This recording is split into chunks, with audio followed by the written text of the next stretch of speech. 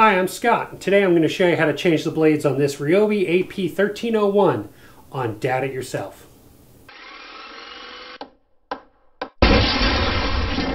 So today's project, I'm going to change out the blades on this Ryobi AP1301 planer. And you're saying, wait a minute, AP1301, isn't that a blue tool planer? Well, yeah, it is a blue tool planer. But I painted this one green so it matched the rest of my Ryobi tools. Not a perfect match. This is the Rust-Oleum Lime Green. Uh, the Krylon Lime Green is actually a better match, so maybe someday I'll repaint this one. Or I will buy the new Ryobi thickness planer, which is in stores now. There's a picture of it right there. Uh, either way, but uh, when I redid this printer, I did a video on it. So if you want to check that out, there's a video right there for that. And let's go ahead and get started. Okay, before I get started, Make sure it's unplugged. Here's the plug. Now I'm going to take off the cover.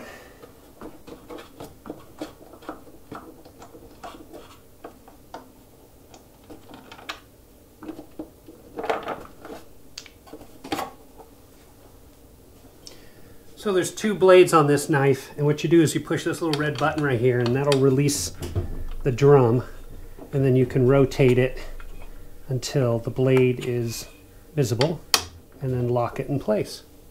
And you'll see these little nuts, there's seven of them. The planer comes with a specialty tool for this. I have no idea where mine's gone, but an 8 millimeter box end wrench works really well. And what you want to do is just get in here and release these nuts by turning it to the right.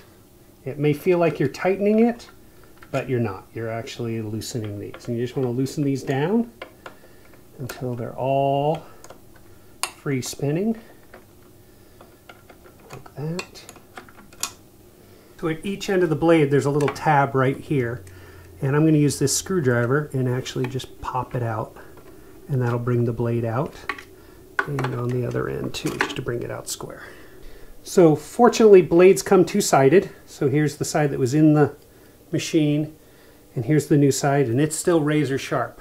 Uh, this unit was built in 2010 and I bought it used and I would say chances are pretty good that these blades have never been changed. Uh, I've had it about a year.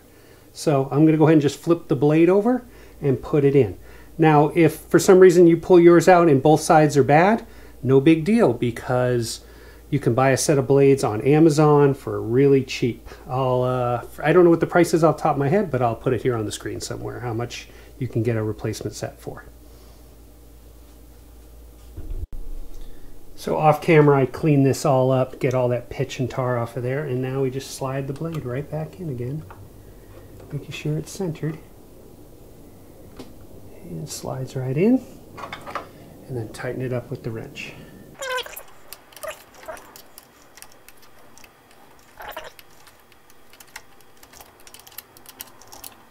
So this blade has a positive stop on the back, so as long as it's all the way in, then you should have an even blade. If for some reason you don't trust that, you can use a micrometer or other measuring device just to make sure your reveal on the blade is the same. Let's go ahead and do the other blade now.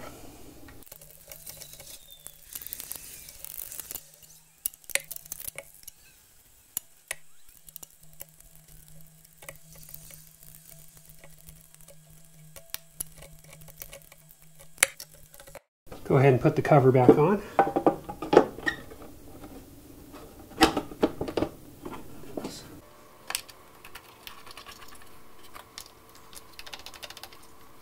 Going to give this a wipe down and wax the bed and it'll be ready to go.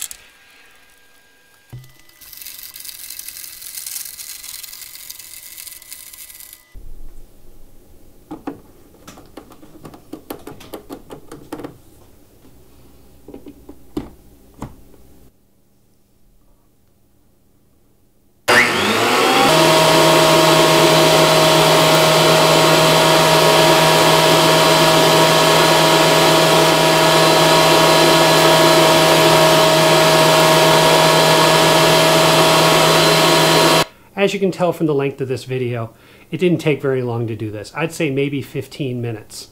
Uh, this is my first time doing it, so next time, hopefully sooner than later, um, I'll be able to do it a lot quicker. I'll have links to all the products I use in this video in the description. If you have any questions, comments, or suggestions, put those down below. Speaking of comments, don't forget to like, share, and subscribe. And if you do, hit the bell for notifications. I've got some videos over here you may be interested in. Subscribe button's right over here. Thanks for watching. Dad It Yourself.